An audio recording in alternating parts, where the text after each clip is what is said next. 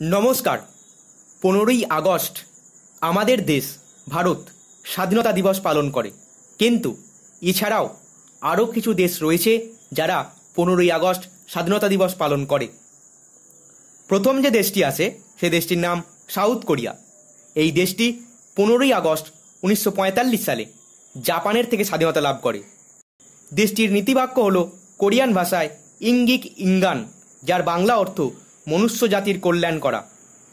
এটি হলো দেশটির জাতীয় পতাকা। দ্বিতীয় আসি নর্থ কোরিয়া।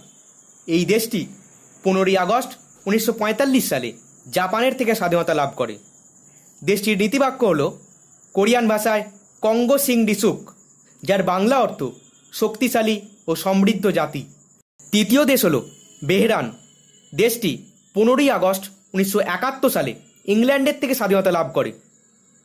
এটি হলো দেশটির জাতীয় পতাকা। চতুর্থ দেশ হলো ভারত।